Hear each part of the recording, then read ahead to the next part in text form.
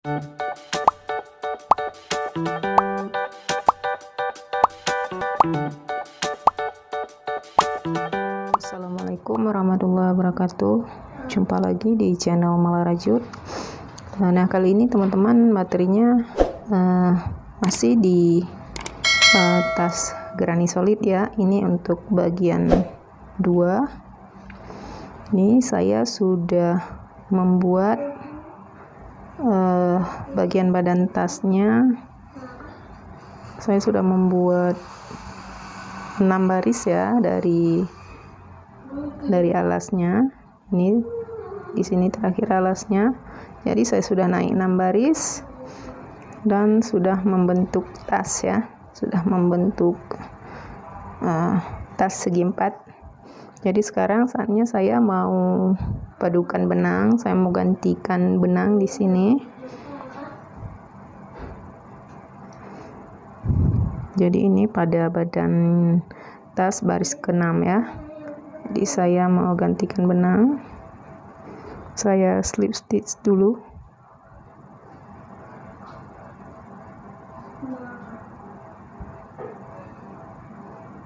Lalu kita menuju ke tengah ke sudut. Nah untuk yang di sudut ini pada saat memasukkan ke dalam sudut dalam lubang sudut kita langsung ambil benang yang akan kita uh, ganti ya. Nah ini dia. Tidak usah membuat simpul langsung saja kita masukkan ke sini. Nah, ini kita buat CH3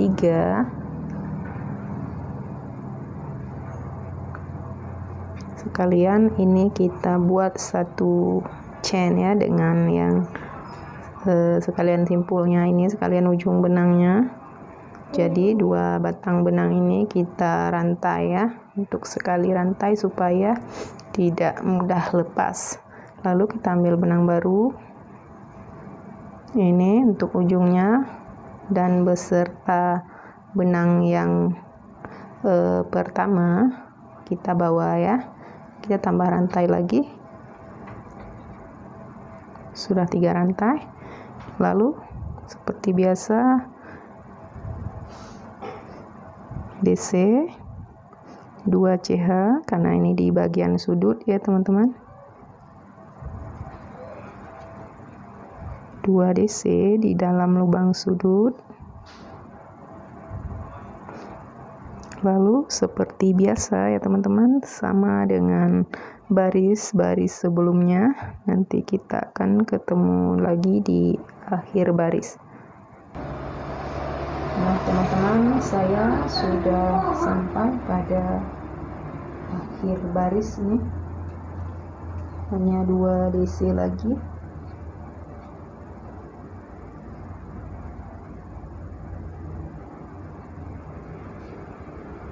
nah lalu saya slip stitch seperti biasa.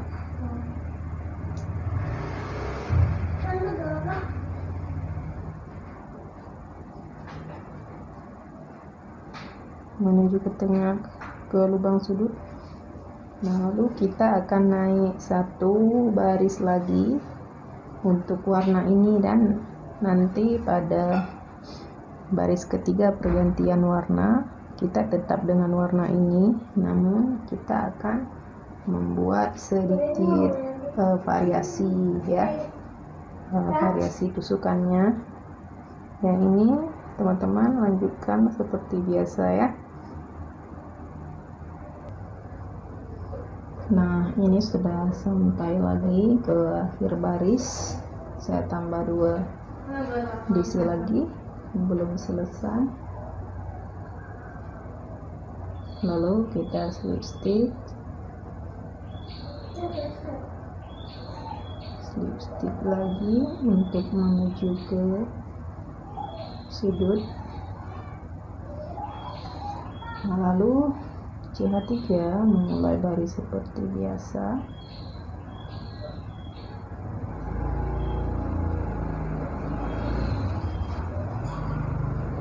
setelah DC dan CH2 di, di sudut lalu masukkan juga 2 DC lagi seperti biasa. Lalu kita buat satu DC pada DC eh, baris sebelumnya ya. Nah, di sini. Lalu kita CH1 skip 1 dan DC lalu CH1 skip 1 DC CH1 skip 1 DC seperti ini ya teman-teman. Kita lanjutkan.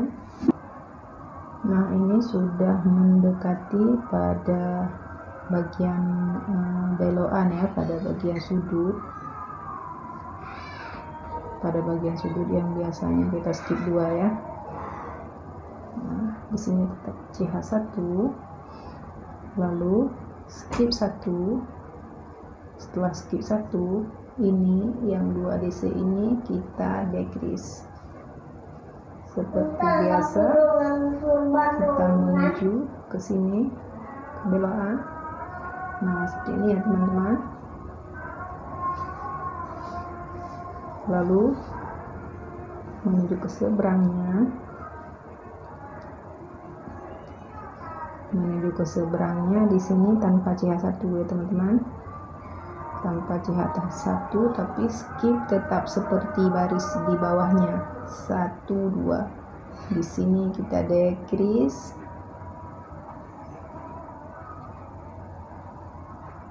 nah sudah begini. Dia sama dengan baris sebelumnya di sini. Lalu di sini baru kita CH1 seperti sebelah sini. Skip 1 DC CH1 skip 1 DC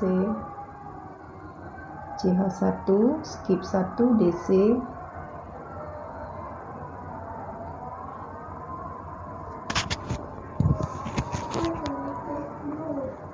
CH1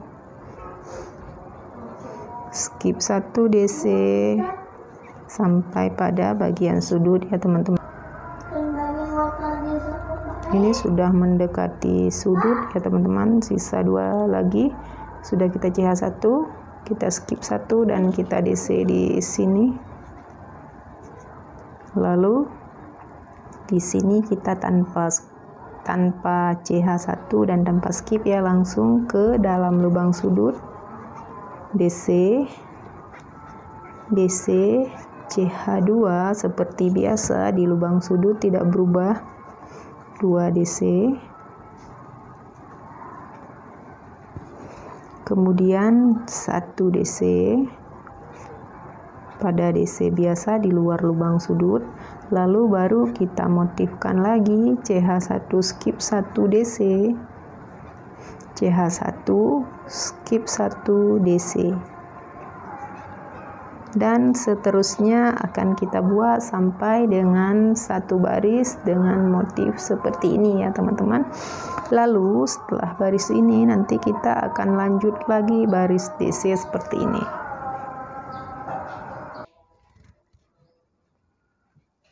Nah teman-teman untuk yang bermotif tinggal satu kali DC lagi nih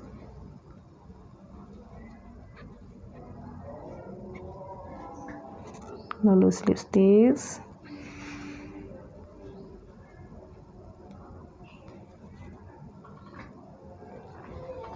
lalu untuk baris selanjutnya kita naik dulu CH3 lalu buat DC seperti biasa di dalam lubang sudut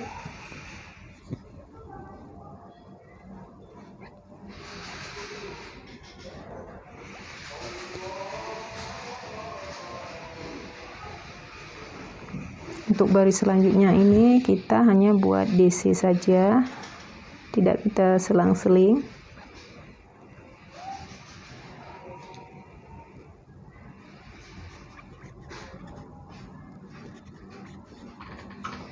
Nah, di sini kita buat DC 1 pada CH1 dan pada DC kita buat DC, CH1 kita buat DC ya.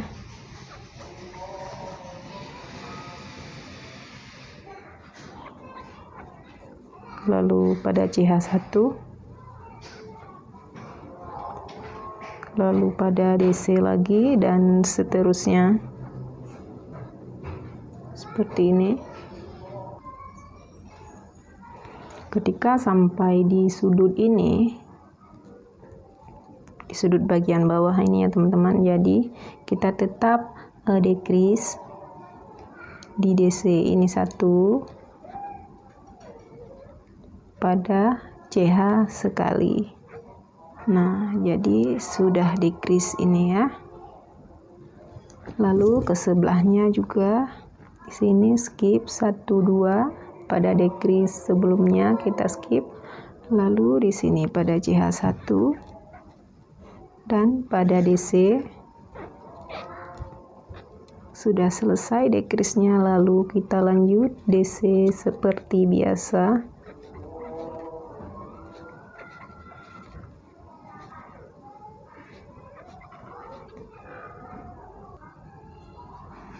untuk bagian sudut atas seperti biasa ya teman-teman.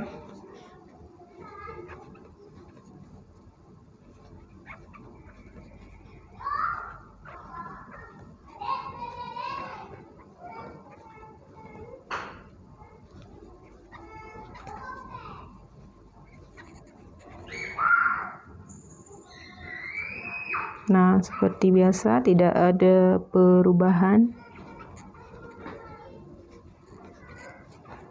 sampai di sini juga masih DC seperti biasa. Jadi DC full di baris ini. Setelah ini nanti setelah kita slip stick teman-teman kita akan buat lagi motif lubang-lubang satu baris di sini. Lalu kita ulangi ya yang lubang ini kita ulangi lagi di sini lalu setelah slip stitch kita ulangi lagi baris ini di atas baris yang lubang-lubangnya teman-teman.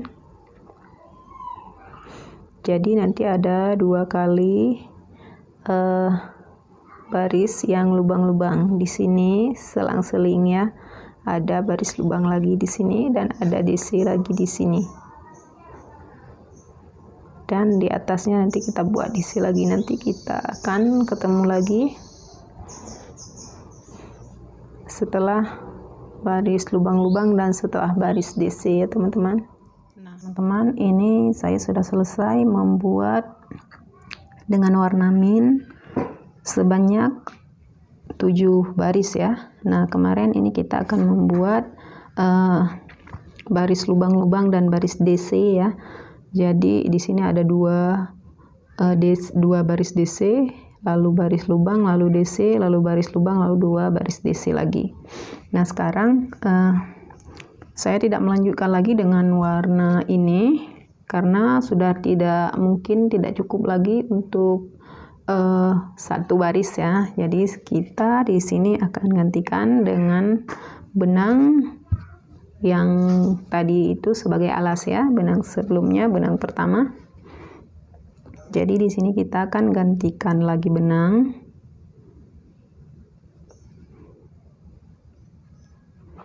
Saya kepakai lagi benang uh, biru dongker ya.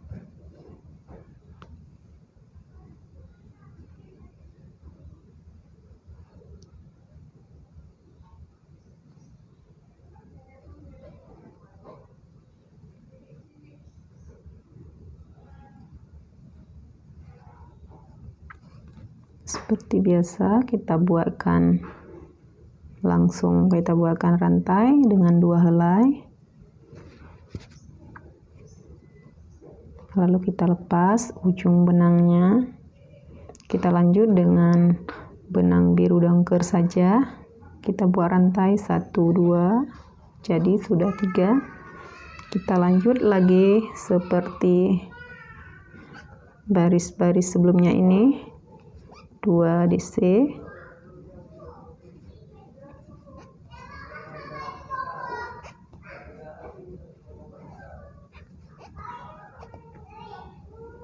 caranya sama teman-teman. Nah di sini uh, karena caranya sama jadi saya skip saja videonya. Cuma saya ingin menjelaskan uh, kalau ini nanti akan kita kerjakan lagi motifnya seperti motif ini ya. Sampai pada ukuran yang kita anggap cukup ya. Nanti kita akan ketemu lagi.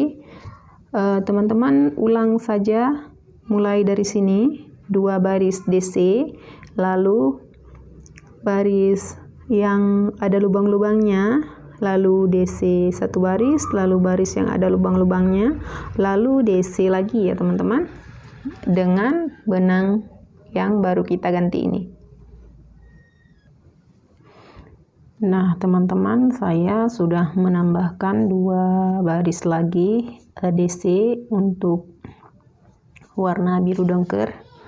Jadi ini sepertinya sudah hampir memadai ya jadi ini kalau saya ukur ukuran tasnya ke atas tingginya itu kalau di bagian lembahnya ini di bagian yang ke bawah ya bagian lembah ini dia sudah mencapai 24 cm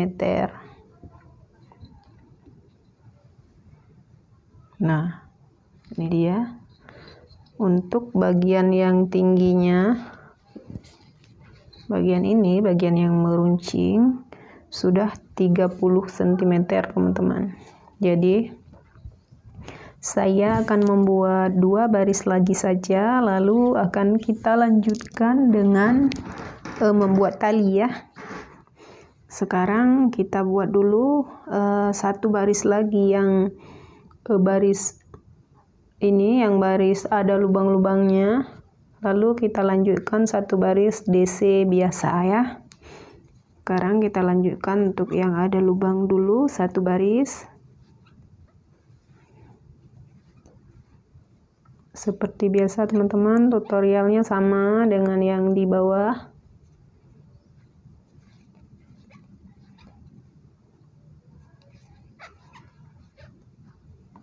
Setelah 3 DC di sisi ini, lalu kita satu CH skip satu DC CH satu skip satu DC dan kita ulang-ulang terus sampai ke akhir baris.